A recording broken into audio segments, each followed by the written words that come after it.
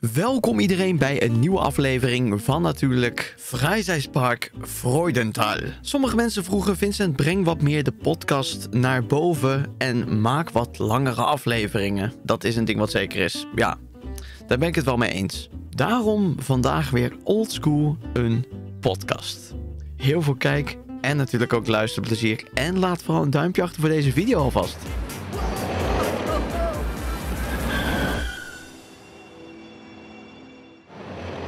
Und da ist die Planet Podcast. Und hartelijk willkommen. Jazeker. Ja, goeiedag iedereen. Hallo, daar zijn we weer, dames en heren. Gloednieuwe podcast. Leuk dat je kijkt. Laat een duimpje achter. Even Gerard. te abonneren. Dus Gerard, gaan, Gerard, eh, hallo, hallo, Gerard, rustig aan, rustig aan. We zijn net begonnen, je begint gelijk al allemaal met doe dit en doe dat.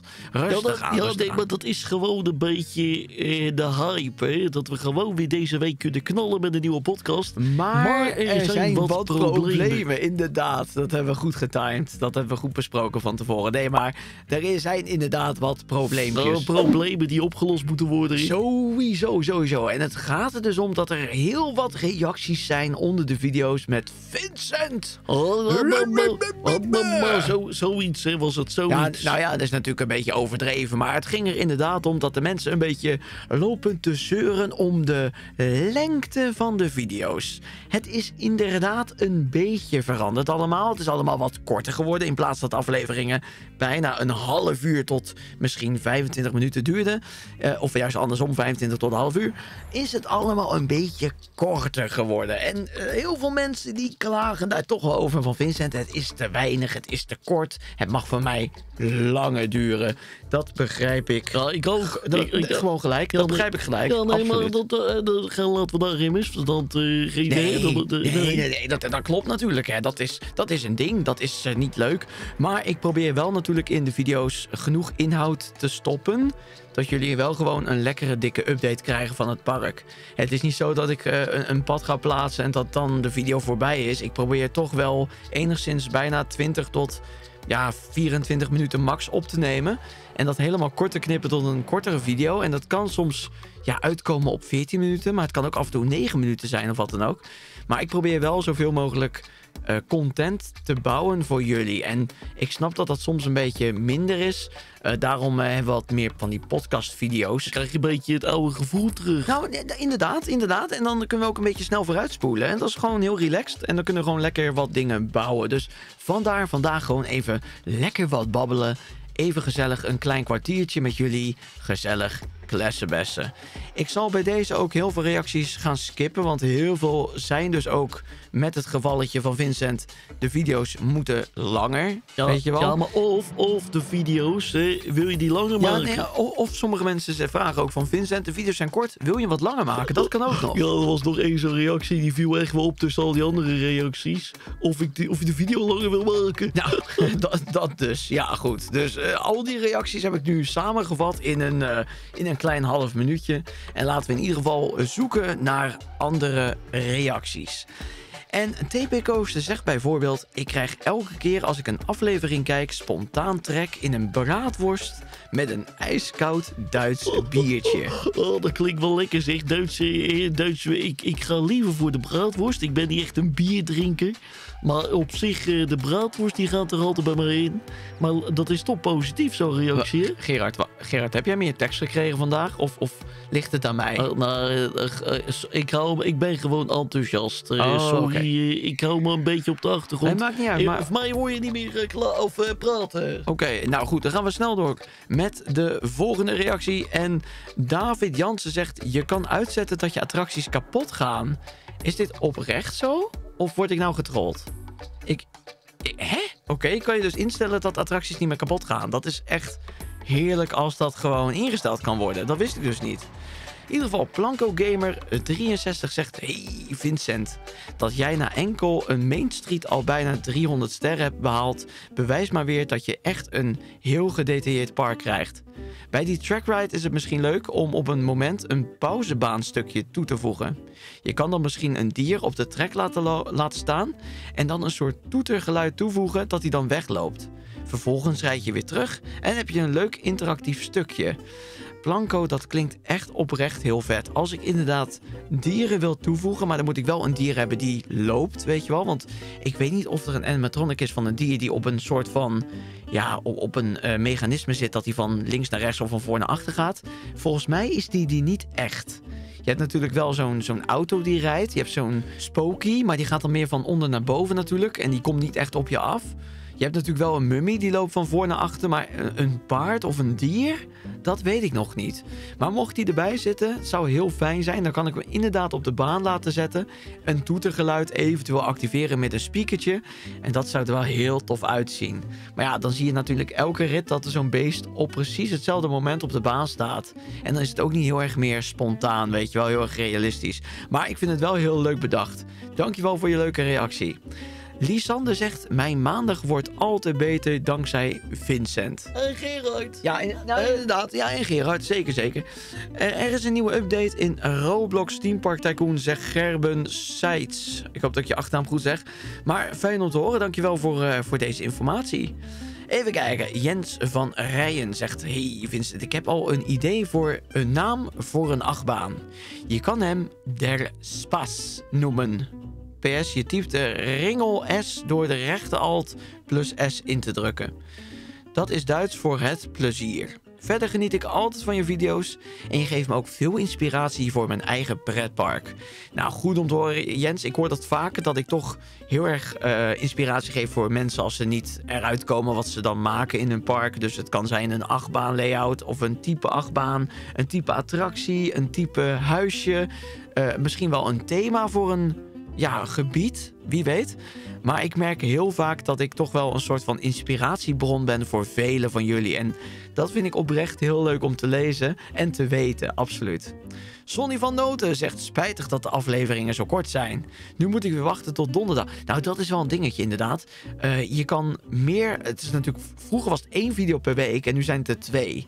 Dus ik heb sowieso al het gevoel dat je al best wel ja, meer Planet Coaster content zie per week dan normaal.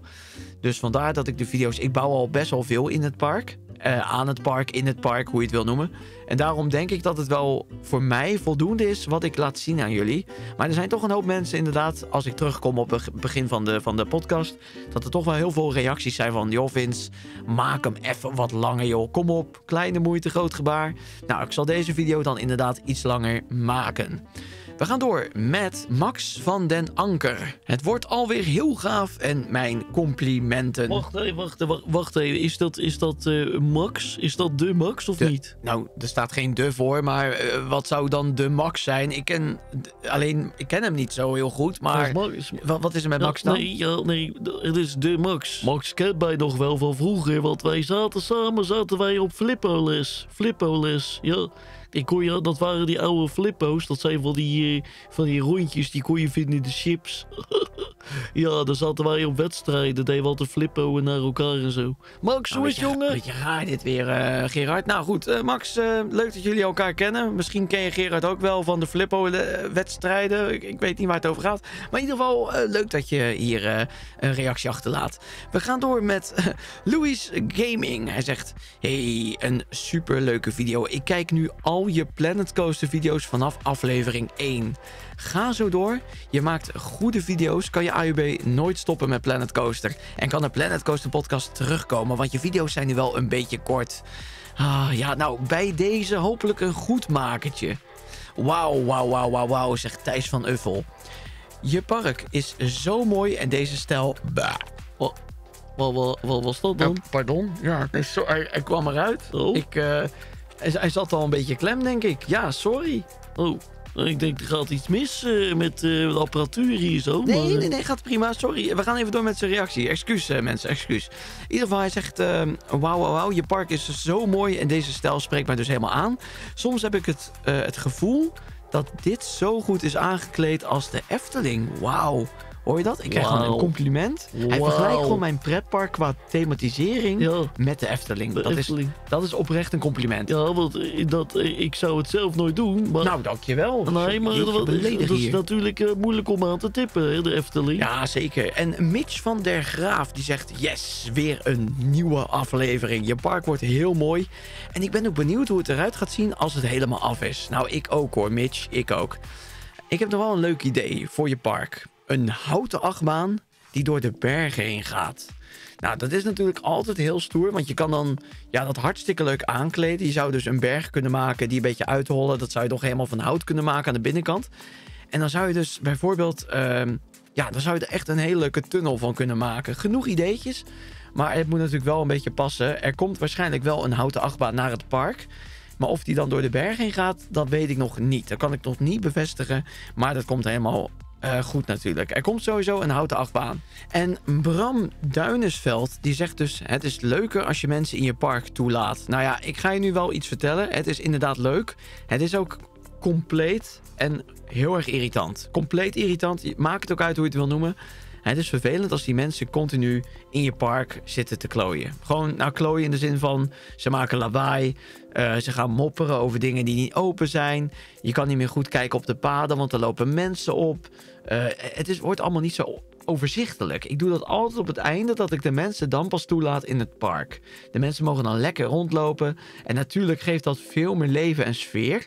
Maar uiteindelijk komt die sfeer op het einde. Als alles af is, dan wordt het park pas geopend, officieel natuurlijk. Ja, het moet ook een beetje officieel blijven natuurlijk. En dat doe ik eigenlijk de laatste jaren op deze manier. Gewoon geen mensen toelaten. We kunnen misschien aan het midden van ja, het park misschien een pre-opening doen. Dus gewoon dat we de mensen even toelaten om te kijken hoe ze reageren. En vaak dan zien we dan ook opmerkingen van gasten. Van, joh Vincent, eh, er is geen wc. Of eh, we missen nog wat eh, drinkkraampjes. Of eh, de attracties misschien een beetje ja, too much. Of juist minder.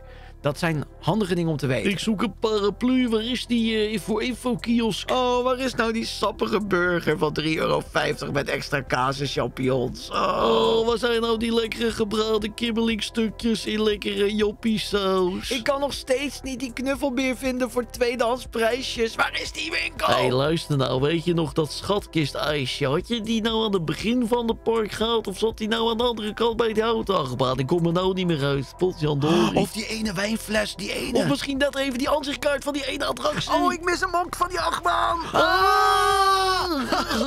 ja, Ja. zoiets dan, hè. Dat wil je niet hebben in je park. Dat er gezeik komt van mensen, meningen. Nou, meningen zijn welkom, maar niet gezeik. Nee, er moet geen gezeik komen. Want mensen moeten eigenlijk als een soort van... Je, je moet je voorstellen, als je s'avonds naar bed gaat... Het is weer heel, heel random dit. Maar als je dan naar bed gaat... Dan heb je dus een eh, lekker warm en zacht kussen met, met, vol met veertjes. Lekker warm. Dan wil je vertroeteld worden als je in bed ligt. Je wil gewoon lekker comfortabel liggen. En hetzelfde geldt een beetje voor een park. De mensen betalen ervoor, die komen binnen, die moeten warm ontvangen worden. Die moeten een hele dag plezier hebben. Die moeten eh, mooi kijken naar de gebouwen. Alles moet compleet, alles moet goed voor de ogen zijn. Dus alles moet kloppen. Nou, dat was eigenlijk het, ja, een beetje een rare vergelijking. Maar we moeten de mensen gewoon, net als dat je gaat slapen, mensen tevreden stellen over een hele dag in plaats van een nacht. Dat is eh, mooi gezegd. Ja, ik vind, het, eh, ik vind het een mooie afsluiter voor deze podcast. Ja, maar wat, nee, nee, want dan gaan mensen weer zeuren dat het weer te, te, te korte video is. Dat is wel een dingetje. Hoe lang moeten we het nou maken? Oh, wacht even. Dan pak ik even, wacht even, dan pak ik even een boekje erbij van mijn schoonmoeder. Gerard, nee. Wacht, we ik moeten niet weer een eh, boekje pakken. oh, Dat is nee, elke keer hetzelfde. Elke keer van die een stomme moppie. Even kijken, deze of Gerard, hebben, vorige keer hebben we dat ook Ja. gedaan. Was Oh. niet zo'n succes. Oh, oh. Laat het maar voor volgende keer. Gewoon d- geen mopje Kijk, je alsjeblieft. Kijk, hop. Kijk nou uit, jongen. Je bent alles aan het kapot maken. Wat is dit nou weer? Ach, Nou, eh, misschien is het handig dat we dan gaan afsluiten. Ja, dat is, ik eh, hoop volgende keer weer een ijzersterk moppie te hebben voor de mensen. ja, dat zien we dan en wel. tot Dat, de eh, volgende keer tot- bij ja. een nieuwe podcast. podcast. Ja, Joe, doei. joe. En Doei, zo doei, is de eerste scène ja, een soort van tot leven gekomen. Nog niet heel veel beweging, nog niet veel animatronics, maar wel wat lampjes hier en daar. En natuurlijk ook een eigen tractor in elkaar gezet. En geloof me, dat was best wel pittig. Ik moest echt lang zoeken naar onderdelen, absoluut. Maar ik heb hier en daar wat dingen bij elkaar toegevoegd en het ziet er zeker hoop ik, niet slecht uit. De vogeltjes wil ik gaan triggeren. Dus als die hier omheen gaat, dan, eh, ja, dan, dan zal die geactiveerd worden, zo'n vogel, met een geluidje. Dat is wel leuk. En eigenlijk werd het ook een beetje irritant, want als je de vogels niet activeert op het trigger, dan blijven ze krijsen. En dat is heel irritant als je heel de tijd moet bouwen op hetzelfde gebied. Dus dat is ook de reden waarom ik hem nu heb uitstaan. Als we zo de scènes gaan aankleden, dan wordt het echt een hele mooie attractie. Ik moet natuurlijk nog veel meer leuke boerderij, autootjes en wagentjes gaan ontwerpen. Want dat maakt het wel heel erg uniek. Een soort van eigen toolkit items, maar dan uit bestaande onderdelen binnenin het spel. Het station ben ik nog niet 100% tevreden over, maar we gaan net zo lang doorbouwen totdat het wel gewoon mooi eruit ziet. Dus gewoon doorknallen en dan komt het vanzelf wel helemaal dik in orde. Dit is in ieder geval wel hartstikke leuk. Zo met ook die overkapping hier zo. Heb je nou nog opmerking of gewoon een wat commentaar? Weet je, of een tip of een hint? Laat het weten in de comments. En eh, laat natuurlijk ook even een duimpje achter. Ben je nog niet geabonneerd? Klik op abonneren en op het belletje om geen één video te missen op mijn YouTube kanaal. Elke maandag en donderdag een video vanuit Planet Coaster. Tot de volgende keer. Doeg!